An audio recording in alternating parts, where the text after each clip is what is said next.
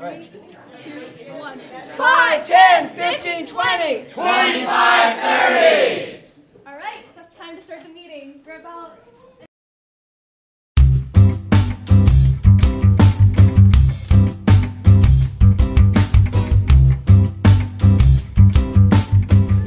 So uh, this is kind of an edition of Supt, not in the halls, but in the basement. I'm in the basement of Kellogg Middle School, where we are with the Inconceivable Robotics team. They are in the early stages of building a robot, which they will um, uh, have in competition at the end of their season. So these are students from a bunch of different Rochester schools. We're going to talk to them as they're doing their work. Not all of them are building the robot. Some are getting ready to market the robot and do the finance to pay for the money. And then we'll talk to a few of the kids uh, and see what it's like um, and why they showed up here on a Wednesday night in the basement of Kellogg Middle School to build robots. Oh, look at this. I I have a nameplate. Look at that. That's very impressive. Was that manufactured here? Uh, pretty much all manufactured here. Okay, so if robots can do the 3D printing by themselves, that starts to freak me out because isn't it robots taking over the world then? I mean, kind of. Well, what drew you to robotics? Why are you here? Um, I was really interested in engineering as a career path, so I thought robotics would be fun to just try it out.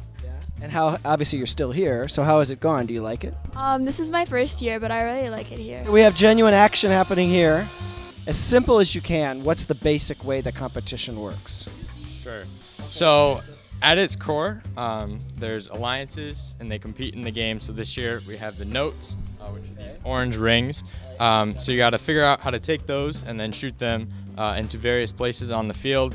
And robots just go and cycle as fast as they can uh, and just compete head to head. Tell us what you're doing here. So right now I'm making a mount that will be going onto the robot. So when the arm comes flat, it's gonna hit this and it's gonna stop it, so it doesn't go any further, doesn't break anything.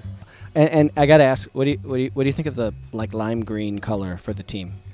To be honest, I don't really like it. Yeah, I have to say the first time I came, uh, I was like, interesting fashion choice, but it's strong and they're not backing off of it. No, they're we're we're a bold team. Yeah. Yeah. Okay. So they're drilling out plates and um, sheets of uh, polycarbonate, looks like, for so it can place onto the robot for armor and like like holding stuff together to build our robot for parts that we can't just buy online. Yeah. How important is the rubber duck on the 3D printer to the success of the printing? Oh, it's essential. It lifts everyone up around here when they're moving around. So, like, how many weeks from now will this start to look like the robot I saw last year, where it's moving around and stuff like that? How long does this take? At week zero, which is next Saturday, uh, we'll have this robot and it's just a scrimmage, so we compete in that. And then we also have um, two competitions, two regionals this year that we will go to uh, two weeks after week zero and six weeks after week zero. So, like on a Wednesday night when you guys are working, how many weeks from now will you guys be proto testing it, like around the room? How far away is that? I'm pretty sure we already did a drive test and we already did a shooting test separately, but we have so we have yet to put the manipulator onto the which is what we call the shooter, um, onto the actual robot and then do both at the same time. So we've done them each individually, but we haven't like made them one and the same yet. We might want to come back for that, actually. So we are back several weeks later. The robot exists, and we are now going to see the results of all of that incredible hard work that we saw several weeks ago. And it's got to get the little donut thingy into the hole and do a bunch of other stuff. But when it is in competition, it's going to be doing all of this with other robots in competition. So this is just a glimpse of the crazy excitement uh, of a robotics competition.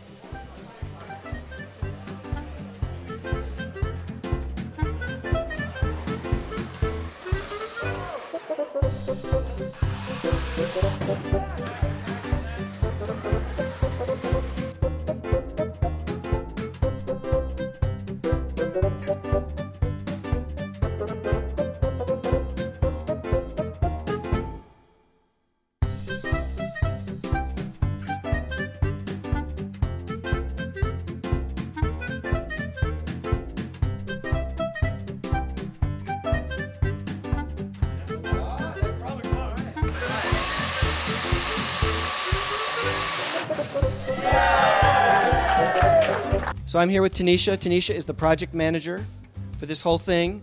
Tanisha, good luck.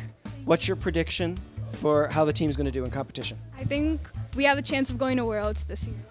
Going to Worlds. You know what? Even if you don't, you guys are amazing. We are proud of you.